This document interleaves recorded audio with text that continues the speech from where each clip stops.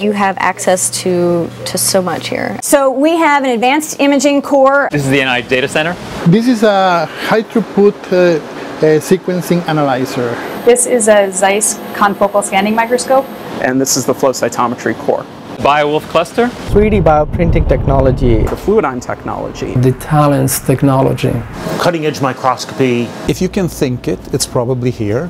NIH has a ton of resources which are important to me. I want to be able to do the research that I'm interested in without having to worry about uh, finding places where I can use instruments like this. A lot of things are very accessible, which allows you to answer questions a lot more quickly. So instead of having to wait for reagents to come in or maybe you don't have an instrument you need. It's all there. I trained in other uh, institutions in, in the US and they all have been really good, but I have to say that our behavioral research would have been a lot harder uh, to be done anywhere else than here at NIH.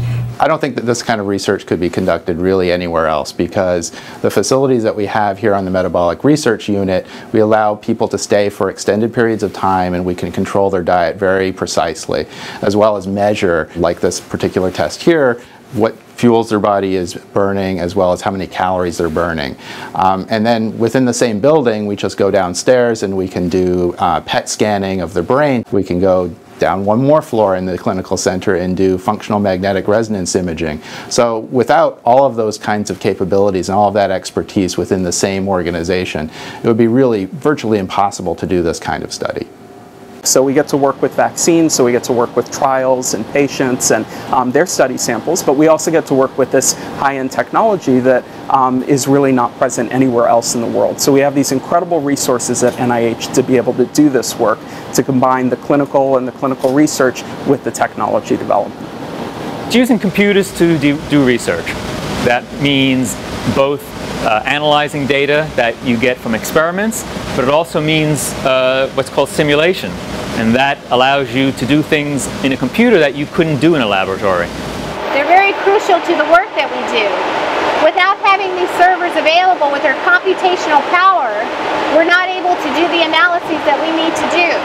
There's an abundance of data that's generated when you do genotyping as well as sequencing. And that abundance of uh, data is not handled on your normal laptop computer we definitely have the resources, which puts a sort of moral um, pressure on us to use those resources as well as we can. The fact that you can do things so quickly means you have to do them that quickly. You know, I think at the NIH in general, you have so much available to you that you, you must produce, you know, and you got to do it in, in a quick amount of time. It's a great place to work, and uh, we get to work with the best equipment in the world and the best people too.